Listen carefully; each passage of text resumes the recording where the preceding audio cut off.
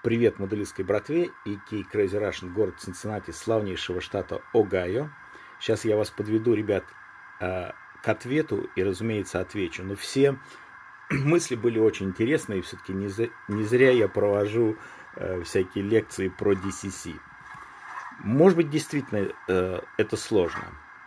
Так, ну, во-первых, начнем небольшую покатушку. Включаю дымопарогенератор.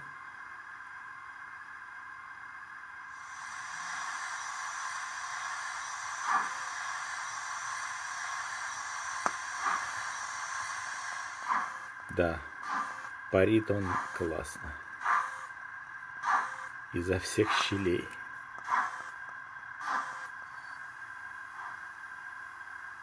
Отлично. Можно выключить. Появились кнопки. Ответ очень простой. Я их поменял в свойствах этого локомотива. С левой стороны вы видите вот э, 111. Там имеется MFX декодер. Он как раз мне послал все вот эти вот дополнительное огромное количество всяких функций. Так. Теперь. Теперь ответ.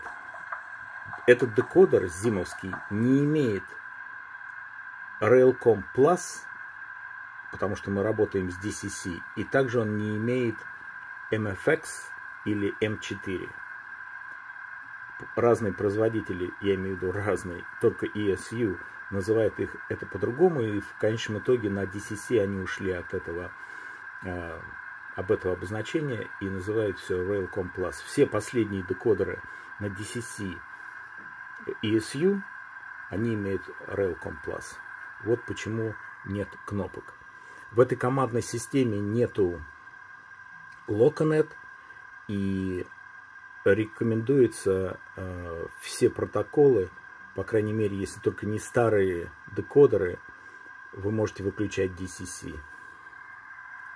Вот таким образом это все работает. Вам, ребят, успехов. Огромное спасибо за что, где, когда.